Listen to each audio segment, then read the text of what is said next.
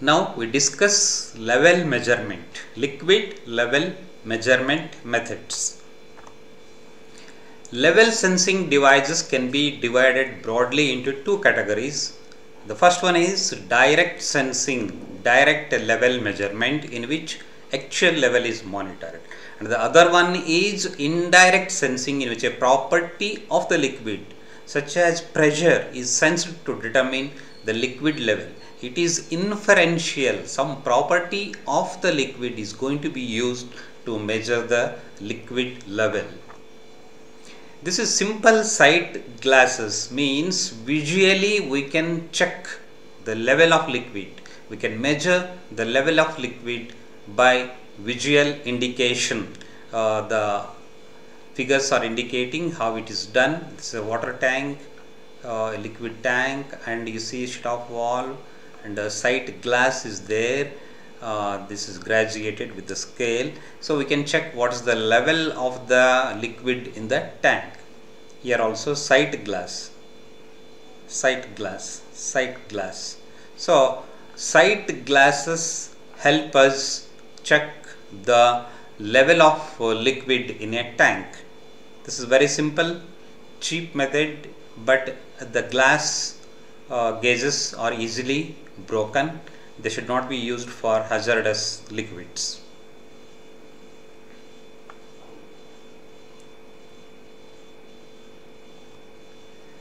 The next one is float sensors. There are two types of floats shown the angular arm and the pulley. Angular arm, angular arm. The float when uh, the float moves up and down as the liquid level changes. The indication is here. Angular position sensor. Through an angular uh, position it indicates what is the level of uh, liquid in the tank. And this one linear scale. So float is used. So the advantage of the float sensors are that they are almost independent of the density of the liquid or solid being monitored. They are accurate, uh, robust and have a linear output with level height. One of the significant types of float is a magnetron float level switch which consists of a plain float and operates by a magnetic coupling action. So this one.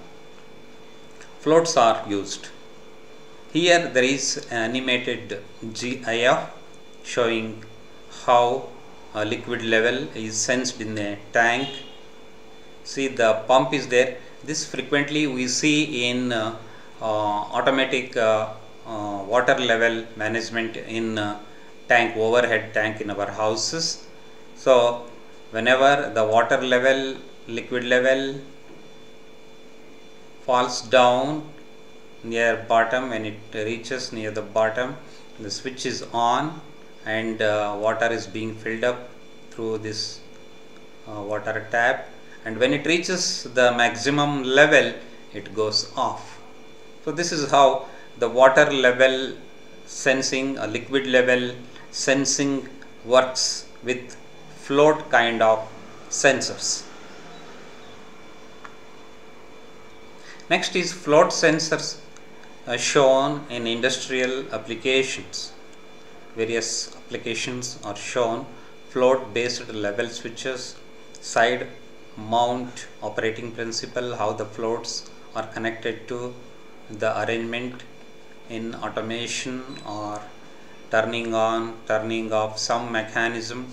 So uh, these are indicating those mechanisms, operating principles. Next coming to the displacer switches. So when the float level changes, rising or falling levels will change the displacement.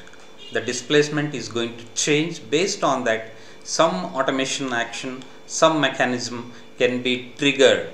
So these are the displacer switches. They are conventional switches. Float based switches are conventional sensing arrangements. Next comes capacitive probes. Capacitive probes are used for continuous measurements. The value of the capacitance can be changed by varying the dielectric, the dimensions of the dielectric in the tank. The probe and the metal wall of the tank form the two plates of a capacitor and the contents in the tank is the dielectric. When the tank is empty, the dielectric is air. As the level changes, the dielectric constant changes and causes the capacitance change.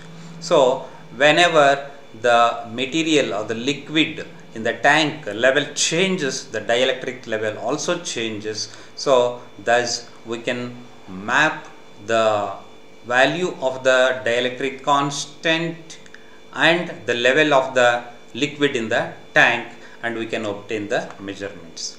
Capacitance level measurement. It's an indirect uh, method of uh, measuring the liquid level. The principle of capacitive level measurement is based on change of capacitance. An insulated electrode acts as one plate of the capacitor and the tank wall acts as the other plate. The capacitance depends on the liquid level, fluid level. An empty tank has a lower capacitance while a filled tank has a higher capacitance.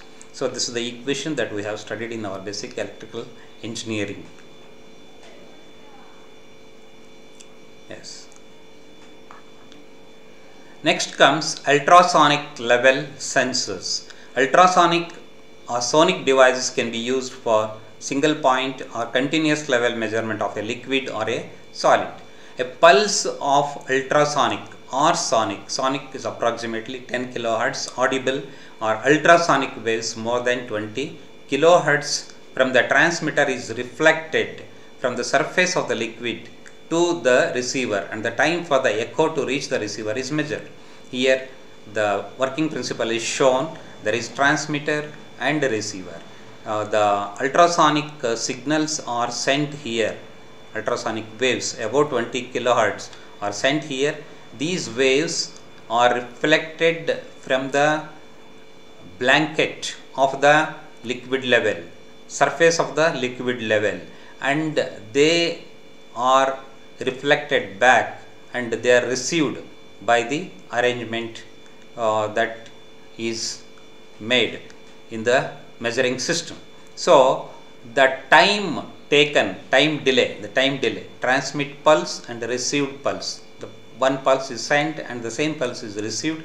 And what is the time delay between the uh, this point and this point? This time delay is measured and based on the time delay the level of the liquid in the tank can be measured.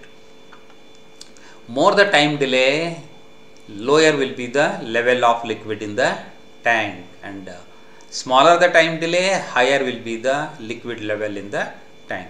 This is ultrasonic uh, level sensor. The time delay gives the distance from the transmitter and the receiver to the surface of the liquid from which the liquid level can be calculated. Knowing the velocity of ultrasonic waves approximately 340 meters per second. We know the uh, velocity of the waves sound waves ultrasonic waves that is nearly 340 meters per second.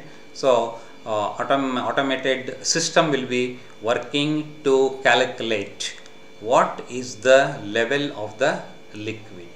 The conversion and display happens automatically in a uh, di display device here. So, they are the commercial products available. Pulsar 3.40 level is being indicated. Ultrasonic level indicator. Here is another animation.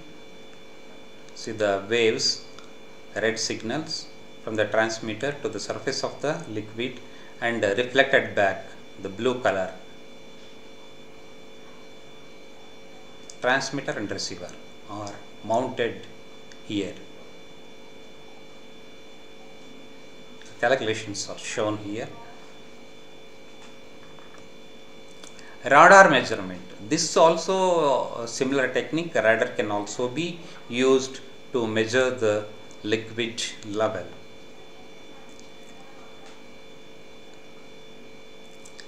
Radar gauges differ from the ultrasonic in that they use microwaves instead of sound waves. The principle is similar to the earlier one that is ultrasonic uh, wave method of measurement. Here in radar measurement, we use microwaves of the order of 5.8 gigahertz or 24 gigahertz. Next, here is a sludge level measurement system. In industries, frequently we come across the need to measure the sludge level. The sludge level is changing, you can see this. So, 8 meter, 7 meter, 6 meter. This also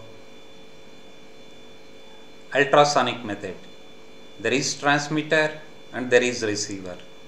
So, ultrasonic waves are transmitted and uh, they are reflected back from the surface of the sludge and uh, thus the level of uh, sludge can be measured.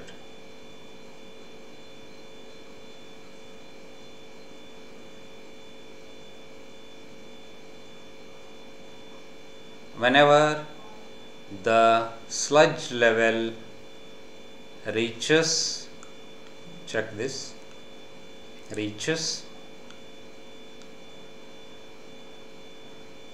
the level of 9 meter immediately the pump is opened and this will flow away. Sludge is passed through this valve. There is a valve.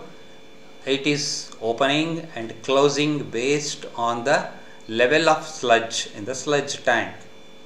Sludge is flowing into this tank and the sludge level is being monitored, measured and monitored using an ultrasonic system. Sludge level is continuously changing. It's 5 meter, 5 meter, yes the valve is closed and now sludge is flowing from the pipe into the tank and when it reaches 8 meter 9 meters immediately this is going to this valve is going to open and uh, the sludge is discharged so this is one, one uh, example of how uh, the level liquid or sludge level monitoring is done. Thank you all for joining in this session of liquid level measuring system. Thank you.